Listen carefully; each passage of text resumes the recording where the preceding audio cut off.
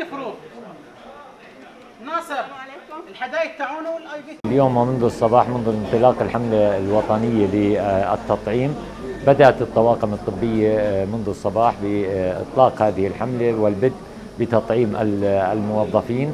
علما بأنه إحنا يعني بالسابق قمنا بتطعيم شريحة من الموظفين واليوم أتت هذه استكمالا لتطعيم باقي الشرائح المتعاملة مع سواء المصابين كورونا أو العاملة في الأقسام العادية.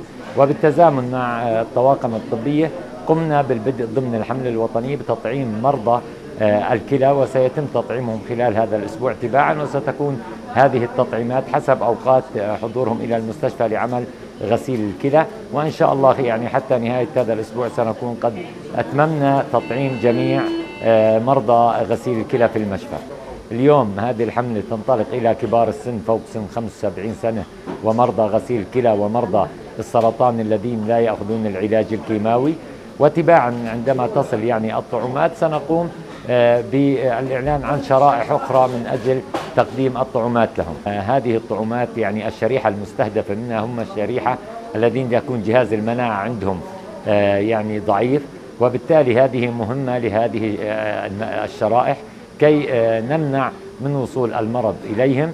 وسنصل إلى مرحلة يعني أنه على الجميع أن يتطعم كي نخلص من هذا الوباء.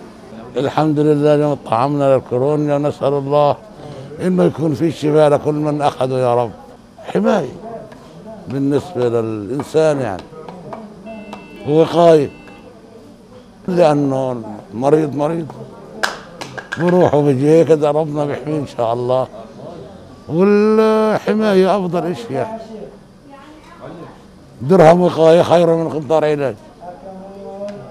نسأل الله. والله إني مبسوط. إني اتطعمت خلص معنيت طعمت آه.